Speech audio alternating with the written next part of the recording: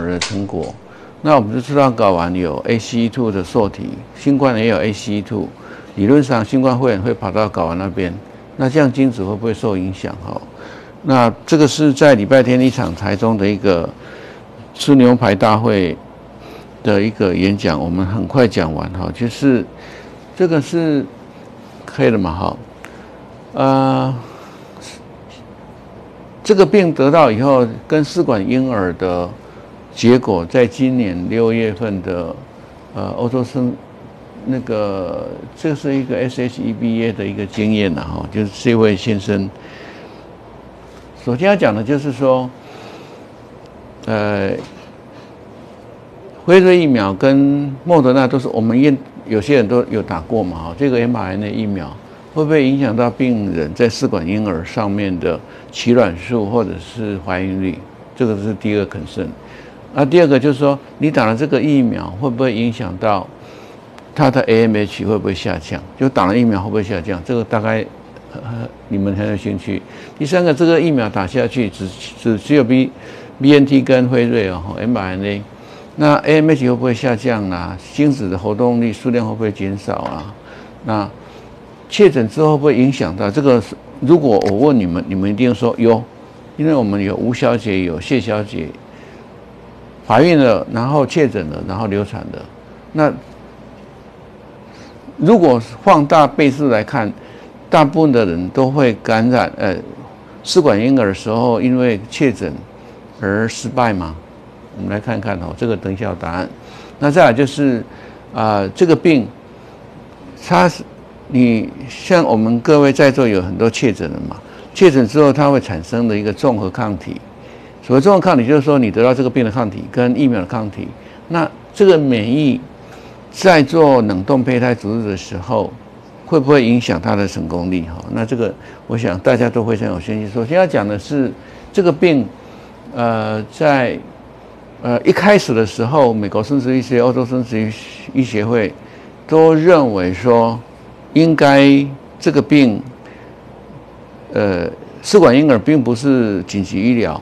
所以建议先停三个月再说。所以，所以那时候美国生殖医学会跟生殖医学会只有说，你在取卵前后，呃，ED 前后前三天后三天，你只要不要发烧就可以了哈。那得到这个病跟试管婴儿的，呃，我们提供试管婴儿的的服务。到底会不会影响？哈，理论上，在这个疾病感染跟不孕症病人的治疗，美国生殖医协会针对呃 COVID-19，它有一个工作小组，在二零二零年，这样算起来是前年，就是疫情很严重的时候，他们是集中在这个病人确诊会感染给这个医院的护士医生，所以他们那时候第一个时间是说喊停。所以那时候，美国有很多冻卵的公司，他们都是跟银行贷款成立。结果因为没有人要来冻卵了，没有人，我说死都不晓得明天会不会死在新冠肺炎还冻卵，所以那时候倒了几好几家卵子公司哈。那美国的纽约的街头，你们大概无法想象，我是没有看过啊，就是一台小花彩箱型车，然后你上去就上去，他跟你喂教，OK，那就。签约，然后就冻卵哦。他们是他们的冻卵或冻精子是到街头上去服务的哈。所以美国生殖医学会他们强调就是说，呃，这个病毒可能会，呃，可能会呃不太对于精子卵子的影响可能哈不会影响，但是他也不敢说的很笃定。他说可能也许不会影响精子胚胎卵子哈。可是那时候真的资料很少，因为大概得到的就二零二零年得到就挂掉了，你也无从去检查。那慢慢的，因为这个病毒越来越不堵了嘛，好像是奥密克戎，就在座各位都得到奥密克戎，你也没有怎么样，就是喉咙痛、发烧，好了，没事的，五三天发烧。那即便你去测快筛也是弱阳性，也没事啊。所以这个病毒已经变到。点一点二点一二点，啊，八月份会点四点五进来，那第一个问题呢，就是说，B N T 或者是莫德纳疫苗，就是 m R N A 疫苗，它其他的 A Z 不提了哈。这个疫苗可能为什么会只有提这两个疫苗？因为这两个疫苗大赚钱嘛哈。辉瑞光疫苗跟口服的那个贝拉韦就赚了五千亿耶，七兆台币哈。呃，他会在试管婴儿的病人在治疗当中，这个疫苗打下去。会影响吗？我们很多病人在取卵的时候打针的时候，我们不是鼓励他说你可以去打疫苗。那这个疫苗到底会不会影响？我们直接看结论哈。事实上并不会影响病人的 performance 啊，就是说所谓的你边打针边取，这个跟我们的经验相近。我们很多病人在打针的时候打疫苗，那取卵 OK 啊。那呃，那问题是就是说这个是。疫苗前、疫苗后，那平均取卵是二点八、二点八颗，取卵是不叮当嘛哈，然后取卵的受精卵零点四、零点四没有差，这是女生的部分。那男生的部分呢，好像有点状况了哦。这个是精子的量，打针前是三 CC，打针后是三点二 CC，啊，浓度的话七千两百万到八千万，哎，怎么得到的这个？打了这个疫苗，好像射出来的精子量的浓度增加，motility 五十六到五十四，哎，其实这样看起来是没有差了哈。那刚才讲的是疫苗，哦，就是说你在打做试管婴儿打疫苗。那第二个就是说，呃，打了这个疫苗会不会影响到男生的精子跟女生的 AMH 哦？这个这个就非常有趣，我们直接看结论哦，因为我们今天只有十五分钟。呃，在七十五个男四十五岁以下有生育能力的男人，他的精子分析打第二剂辉瑞的 BNT 的，好，那一两个月去看他的精子，结果他们的结论就是说，辉瑞打了第二剂的疫苗并不会影响。好，那他的数据在这里哈，就是说这是精子的，呃，精子的，呃。打完疫苗之后，它的不论是二点七 cc 六千三百万，motility 六百分之六十四点五，所以呃辉瑞疫苗，我们现在只讲辉瑞跟莫德纳哈，因为它只有这研究都只有锁定 mRNA 疫苗哈，那 AZ 啦，呃 Novavax 啦，高端那些我们就不讨论了哈。呃，COVID-19 疫苗并不会影响精子，那这个就有点奇怪了啊。刚才不是说睾丸里面有 ACE2 的受体病毒理论上会过去，那这样的话真的不会影响吗？那这个疫苗，我们现在讲的是疫苗对于 AMH，哎，这个有兴趣的哈。我们常常病人说你赶快去打疫苗，那打了这个疫苗之后，AMH 会上升还是下降？总共有一百二十九个平均十八到四十二岁的妇女，她打了两剂的辉瑞。就是打第二剂，那这两剂是差三个礼拜二十一天，那三个月之后你去测她的 AMH，哎，有趣了哈，这是打疫苗的平均年龄，巴拉巴拉巴拉巴拉，那 AMH 是呃二点五，那这个是打了疫苗之后，好像有点下下降四点九，好像有点点掉，可是呃。差二十一天的 AMH 的话，它基本上是没有变动的哈，所以它这个数据，我感觉是背后辉瑞公司有在呃出钱叫学者帮他做研究，就是说你打疫苗 AMH 不会下降哦，很多研究是这样子的哈。那如果说再把打疫苗的年纪分成呃小于三十岁、三十到三十五岁、超过三十五岁。它的 M H 第一季六点六点三四点九二点零，哈，就是随着年纪会越来越低嘛，哈。那打第二季六点一五点四点九变五点一，二点零变二点一，六点三变六点一，六点六点三六点一，四点九五点一，二点零二点一，好像打第一季第二季没有差，这两季是差二十一天，所以他告诉我们的结论就是说，呃，你打 M 你打疫苗不会影响到你的 AMH 的，哈。这是第一个结论。那再来就是说，你得到这个病确诊之后，会不会让你的试管婴儿失败，或是提高成功率。哦，这个这大，你们大概，我现在如果问你们，你们大概答案，我我猜一定一致投。请问，怀孕之后做试管婴儿之后确诊，会不会增加流产率？认为会的，请举手。你看大家大家都举手，因为我们有惨痛的两个经验。好的，这是病毒。它这里有 ACE2，我们身上哪里有 ACE2 受体呢？大脑、肺部、呼吸系统、睾丸、子宫内膜，这个是 ACE2 受体。这是 TATMPRSS 是经由，这是呃经由细胞膜的那个蛋白质分解酶的呃 transmembrane 的 protease serine two 哈，有这两个，这个才这个病毒才会进来。那谁有这个？睾丸有这个，那理论上，睾丸只是有，卵巢有，颗粒细胞有，我们吸出来的卵子的那个，我们在取卵那个粒泡液有，子宫内膜有。那理论上，这个病毒到这个妇女身上，子宫内膜、颗粒细胞、卵泡液应该都要有这个病毒才对啊，因为它掰你得上去。那我们让实际实际的说话，这个研究是针对如果你确诊之后。去做试管婴儿，我们现在很多病人都是确诊之后来做嘛。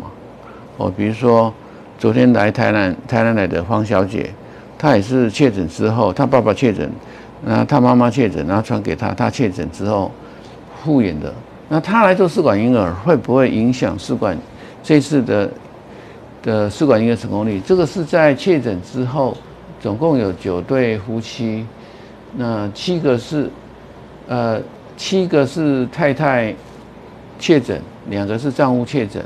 那他们在呃复原之后八到九十二天去做试管婴儿，也就是说他确诊之后，这个我们现在病人很多都这样子。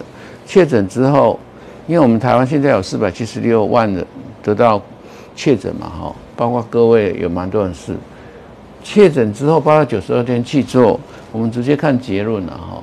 这个是是。呃，确诊前、确诊之后的，呃，打针十天、九天，然后排卵针三千三、两千六。哎，确诊之后反而打针量比较少。然后，呃，Pick 一 two 七千，呃，Pick 一 two 是一千二、一千二没有差。那平均的，呃，黄体素二点一二没有差。那这个是没有提到取卵数，好，那这个是太太七个感染，丈夫两个感染，那平均好胚胎就是你生病之后好胚胎，呃，感染前零点五八颗，感染后零点二六颗，哎，少了，好，这是太太的部分，先生感染前零点六六颗，感染后零点三三颗，如果单纯从好胚胎 top quality，比如说八 A 或者是囊胚最优的，感觉感染后好像五六彩哦，所以这个就在确诊之后的八到九十二天，呃，可能你拿到取卵数或者是胚胎数好像有影响。那我们看数据是觉得有影响，但是他的结论是在确诊之后 top quality 可能。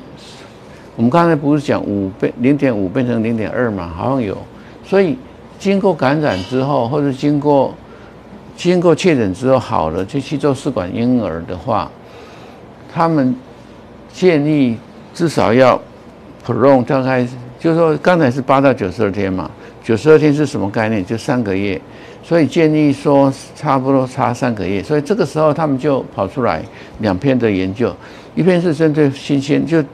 确诊之后去打针取卵植入，一一一一种是打确诊之后打针取卵冷冻胚胎在先天植入，在先胚植入这一个表现上面，我们直接看结论就是，好像对于取取卵数有一个那个不好的影响哈。但是这里如果我们把看这个表格哈，就是得到感染，没有得到感染。它的取卵数是十二颗、十一颗，好像没有差。刚才不是说有 top quality 有差吗？可是这里又告诉我们，感染前、感染后你取卵数十二颗，十一点二九颗没有差。那这个是这是九天式的哈。那这个 protocol 有 long protocol mini，我觉得感染前、感染后，我们直接看还原率四十三、四十，有点点掉。那胚胎的等级六十三、六五十六，所以我们如果说直接看终端。感染前四十三，感染后四十，就是怀孕率好像有点掉，但是掉不多。那再来是呃最后两个主题，最后一个主题就是说，你的那做个结论就是说，似乎确诊之后去做 IVF，好像有一点点临床怀孕率会从四十三掉到四十，好像有一点点影响，可是。你如果用生物统计去看是没有差，那再来你得到这个疾病确诊之后，你会起免疫反应。刚才讲的是新鲜胚胎，四十三掉到四十，那冷冻胚胎又怎样？这个对我们验最最重要，因为我们不做鲜胚组织嘛，哈。那这个是一个单一个试管婴儿中心他们所做的，平均在十八到三十八岁，诶，现在几点了？我再讲五分钟，那。在确诊之后，你有的免疫反应之后，或者是呃，依着你是确诊之后的免疫反应，或者你是打了两剂的辉瑞疫苗所产生的，你你得到抗体可能得确诊得到，或者是打疫苗得到嘛？哈，那我们来看一看到底哦，这是病人的一一般资料了哈。冷冻胚胎，呃，这里是感染后。疫苗后，然后就是没有疫苗，没有疫苗，我们直接看终端了哈。感染后的怀孕率二十九点五，打了疫苗之后二十五，然后好像打了疫苗有一点点掉有临床怀孕率。那 ongoing pregnancy rate 是感染之后二十七点三，打疫苗之后二十四点五，所以这个告诉我们说，哎，你感染后。是二十七点三的 ongoing，打疫苗是二十四，也就是说你得了这个病再去做试管婴儿是没有差的，反而打疫苗是稍低的哈。那简单的说就是无差的跌了哈。所以我们的结论这就这四点哦。我刚才讲的可能你有点点有点 confused，一下有差没差，一下有差没差。第一个打了辉瑞或莫德纳疫苗会不会影响到病人的试管婴儿？不会。哦，就是四个结论都是 no 了哈。第二个，打了辉瑞疫苗、莫德纳疫苗之后，会不会影响到男生的精子数量的活动力的？啊不会。第三个，打了辉瑞疫苗或莫德纳疫苗之后，会不会影响 AMH？不会。第四个，打呃，如果你确诊之后感染而产生的这个免疫的话，呃，你你你正在做植入，你正在打针，你得到确诊。那会不会影响到你这个试管婴儿后后来的临床怀孕率或者是继续怀孕率呢？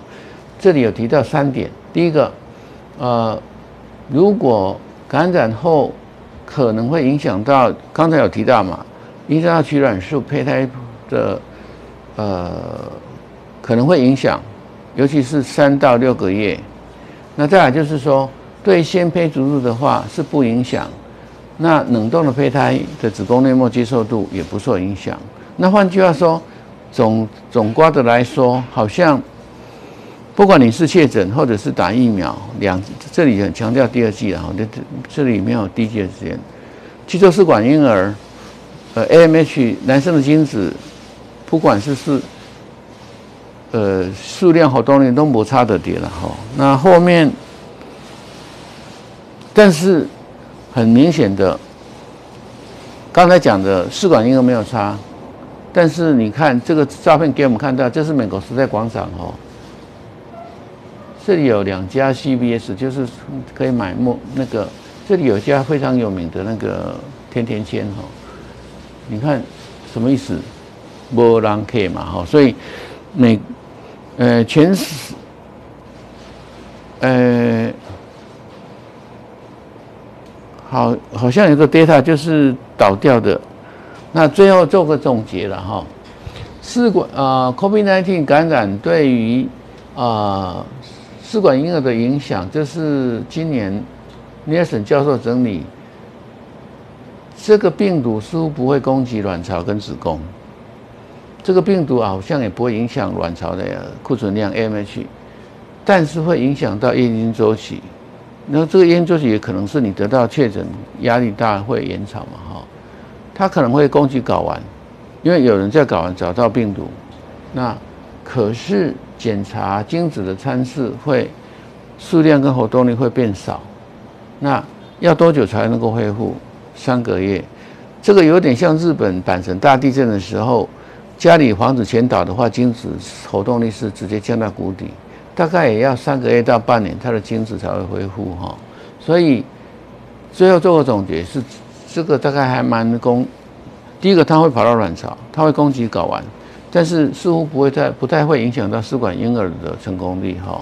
那总之，我们应用到我们自己的病人身上，就是说，他打了疫苗，像昨天有小姐打电话说，蔡医师，我已经打第三剂，我第四剂要打 Novavax 还是要打辉瑞？我说理论上按照指挥中心，你只能打辉瑞、莫德纳嘛，这是第一个。那第二个，蔡司。我说，如果你能够达到 Novavax 最好，因为 n o v a x 不多，两两百万剂进台湾，大概用抢的，因为它是最好的，全世界最好的疫苗。因为什么？因为它安全，它不会跑到细胞核，它是次蛋白，跟高端一样。像我们林主任打了三剂高端，也没有什么事，也不会。说第四季你可以打就赶快打啊，高端什么都都可以打，辉瑞、莫德纳都可以打，只要不要打 A J 就好了。那我说第二个重点是年底的，差不多十二月份、十一月、十二月，我们在座每个人都会被抓去打的两价疫苗。所谓两价疫苗，就是延伸的武汉新冠肺炎疫苗加上 Omicron 两个合并哈。我们 HPV 有两价、四价、九价，那新冠肺炎疫苗也有一价跟两价。你们现在打的都是一价，就是针对延伸的那个新冠。但是如果把 Omicron 加进来的话，就是两价，就是次世代疫苗。那目前全世界只有莫德纳做出来，所以我们应该会在年底打一剂。那将来可能每年的十月就会打流感疫苗。所以今年我们还有两种疫苗还没打，一个是十月份的新冠统计出来的吗？那个流感疫苗，十月份的流感跟十二月份的次世代哈。那打了次世代打下去之后，你大概就是在座各位有确诊过的，大概就是你们现在。等于得到了无敌星星，就是你们最强的。大概，呃，奥密克戎点四点五对你也莫可奈何了哈。那像我还没有确诊过的话，那可能对点四点五还是会 put breath through 我。那再第二点就是说，当我们年底次世代打下去之后，大概你要到日本、到月球去都可以的哈，就出就啊，别的国家也可以进来。所以我们在期待。第四季打不打？第四季打了之后，你如果得到病毒，应该就是你可能轻症后面有症状。那各位确诊之后喉咙痛不舒服，是因为你们的发病都是在打第四季之后十四天抗抗体来不及产生哈。那再来，因为我提七早八早五月二十七号就去打第四季了，所以我抗体七早八早就等在那边，所以 maybe 我确诊也不知道没有症状。那第二个是。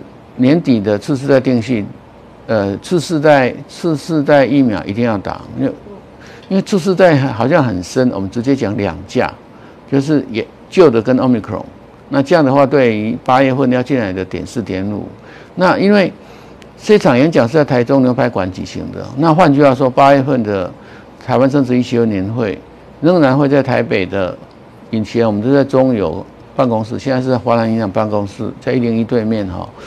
呃，应该会实体举行了哈，所以大概以上半半了嘛哈。好，今天到这边。